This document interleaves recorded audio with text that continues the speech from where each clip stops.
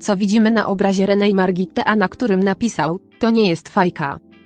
Takie pytanie usłyszał dziś gracz w teleturnieju Milionerzy TVN.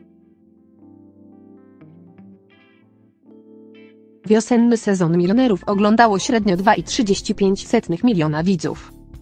Teleturniej podniósł widownię swojego pasma o 1,55 miliona osób. TVN w czasie jego emisji zajął drugie miejsce w rynku telewizyjnym, podają wirtualne media.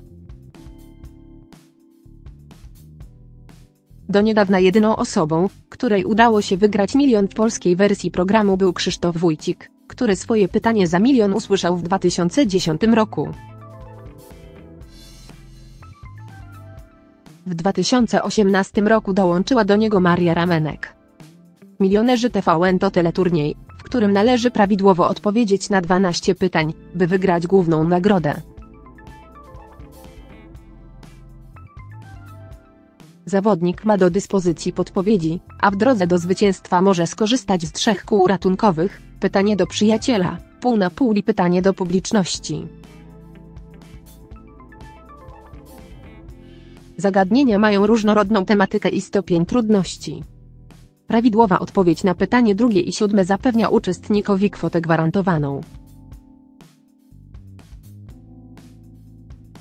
Przypomnijmy, że jakiś czas temu w Milionerach byliśmy świadkami historycznej chwili, po raz drugi w programie padła najwyższa wygrana, okrągły milion złotych.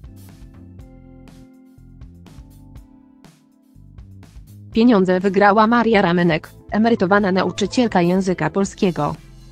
Szybko i sprawnie radziła sobie z pytaniami, które dzieliły ją od miliona.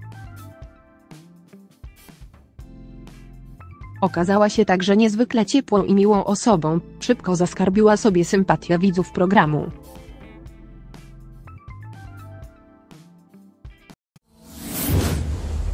Proszę zasubskrybuj kanał. Dziękuję za likę.